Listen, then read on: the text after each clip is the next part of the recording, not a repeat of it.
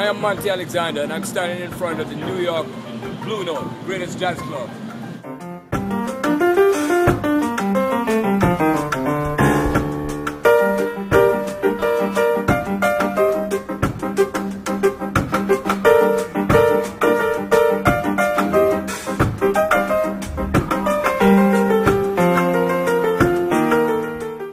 I played for the joy of playing. I'm glad I have a chance to make a living doing something I love, you know. So I've been doing it really, literally for 50 years.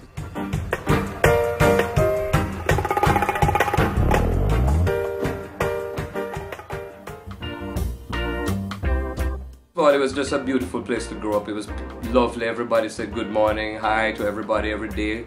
It was just a, a land of, um, all I knew was just a land of, of love, really. We just had respect for each other and, and you know, before Bob wrote One Love, we were experiencing One Love. Music was a big part of our lives and this is before the advent of reggae and ska.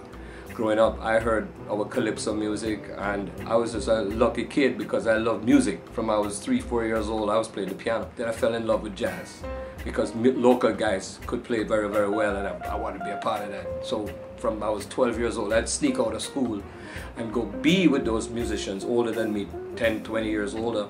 And they, they dug me, they welcomed me and I felt confident and I would be on recording sessions in the very same studios that 10 years later Bob Marley came. Here comes a man who had such a, a powerful conviction about, about things that are really crucial to mankind, humankind. It was the, the delight in the melodies, it was the wickedness of the groove, this incredibly voice in the wilderness, this guy with his hair flowing. But behind all of that was a powerful message about you gotta respect yourself, you gotta respect each other, and you gotta be thinking beyond your own selfish condition. So I was just to put my fingers on the piano and play a Bob Marley melody is the greatest privilege.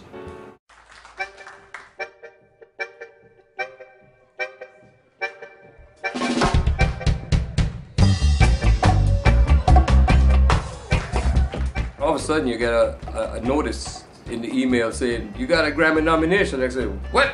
So you you you're pleasantly surprised and shoot, my wife, she's more happy because she gonna buy a beautiful dress and get ready to go to the Grammys. So that's kind of exciting. When the 20th comes and I say Harlem Kingston Express with special guest, my longtime buddy, one of the greatest guitar players in the world, Ernest Ranglin, it's like I'm leaving the station. So the train is leaving the station where? Where I come from, Jamaica, Kingston. So I'm I'm gonna I'm heading for that great land of opportunity, America.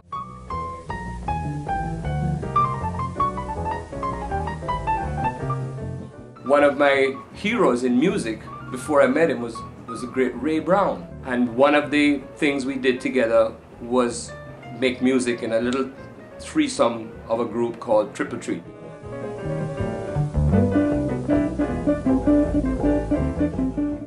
That Christian McBride and, and Russell Malone would make a fabulous little setting, and that's what Triple Treat Revisited is all about.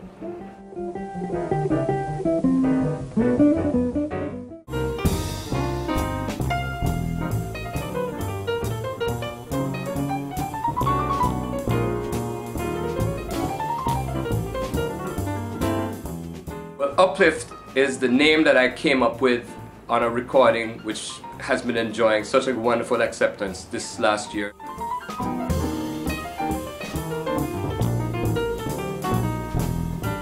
When I come and play with my choice favorite musicians, which is uh, which is Hassan Shakur and Herlin Riley is going to be joining me, the great Herlin.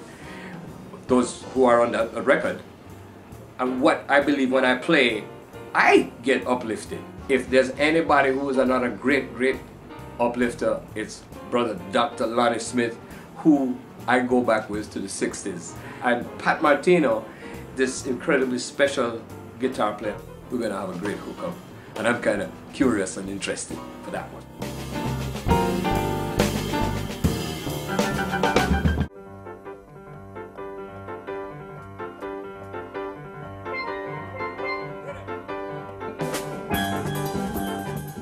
Othello Molineaux, Trinidadian, this amazing steel pan player, steel drum player, who was one of the pioneers in the jazz world back in the 60s and 70s because he was with uh, Jaco Pastorius on a lot of recordings.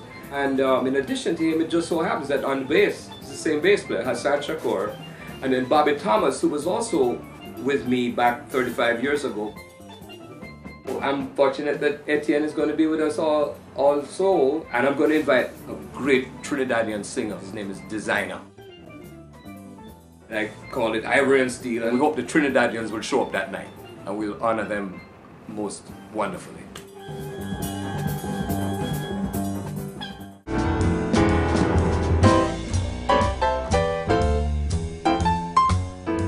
Why I call it Jilly's is because it was an atmosphere and a place where Mr. Frank Sinatra would get up.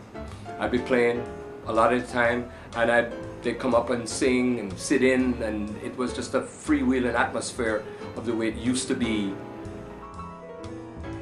I couldn't have had two greater artists to come and join me. Freddy is a, a, a keeper of the flame, the, the, the songbook. Dee Dee Bridgewater, one of the greats of all time, you have two of today's masters and mistresses, I don't know you said, of the, the way the song is sung at its most beautiful.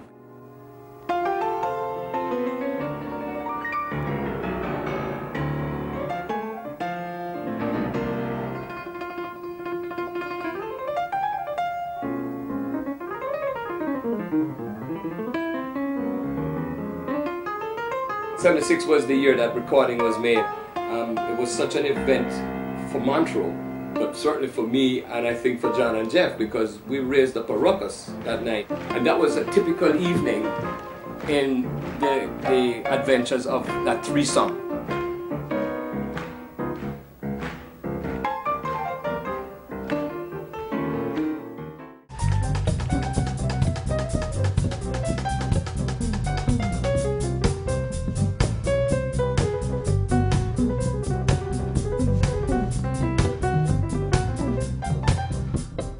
I was in Jamaica and I was saying, I said to us, I saw Sly Dunbar, who's everybody who loves that kind of music, he's the guru, you know? I said, would be a great thing if we go out there and play up on the road, man. We just go play here, go play there, go play there. I said, you know, that would be a nice thing, you know, man. And I invited Sly and Robbie, and they both said, absolutely. And they don't come to New York much unless they're with um, Grace Jones or they're with uh, Mick Jagger or somebody like that, you know? And they said, yes, so they're gonna come. And for me, you know, they are the, the top of the heap of what Jamaica is in terms of music and the impact on the world. And they begin that next series of evenings where I take the train, the Harlem Kingston, gone back to Kingston.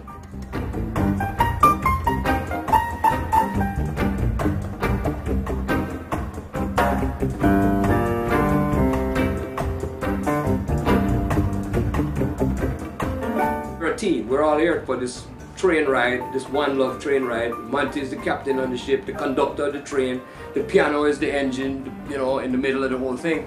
And that was really my dream. I'm looking forward that, that each night is, uh, is like I dream it to be. Come celebrate life with me as I celebrate 50 years of being a musician and uh, having a great time doing it.